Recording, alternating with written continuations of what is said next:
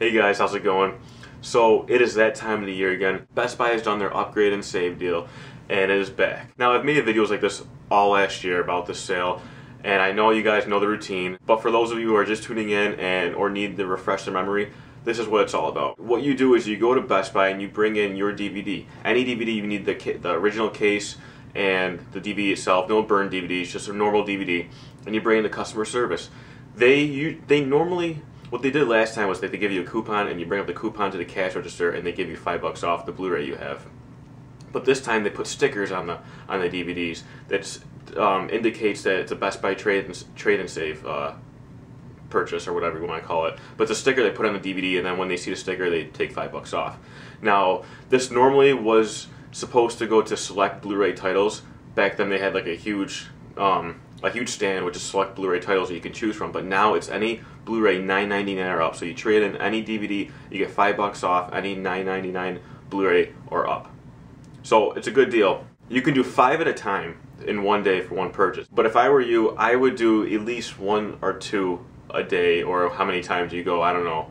Because just because I've had a lot of problems in the past of them of some Best Buy workers not really being familiar with the upgrade and save that they'll take the five bucks off the entire purchase rather than each DVD.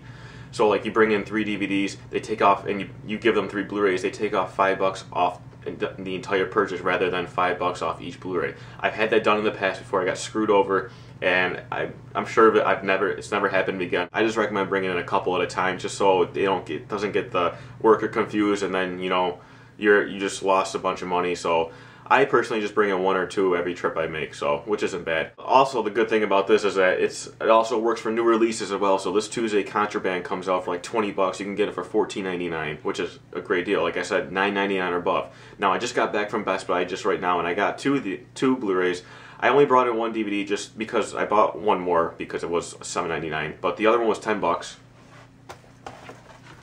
And the one that I didn't, I didn't do the trade and save just because it wasn't over ten dollars. Was I got Hero Jet Li uh, for seven ninety nine. It was in that little bin, but I've been meaning to see this for a while now. But what I did bring for the trade, what I did get for the trade and save was the good, the bad, and the weird. Now I'm dying to see this movie. I've been meaning to for a very long time. It just looks very hilarious, and it's got nonstop action and violence, and it looks fantastic. Uh, both these I'm really looking forward to checking out, but this one I did get for five bucks. It was ten dollars. I brought in the Shrek 2 on DVD. They gave me a five dollar off, uh, the five dollars off any Blu-ray title, 99 or up, and this worked. So five bucks I got this for. Now it does work on sale price items as well. It's not going to take five dollars off the original uh, retail price. It will work on sale price items as well. So guys, take advantage of this and just you know keep your eyes out. Make sure you're getting five bucks off every uh, DVD you take in, rather than you know for the whole entire purchase. You guys, that is the Best Buy upgrade and save deal. Real quick, bring in any DVD, you get $5 off any Blu-ray title, $9.99 or up.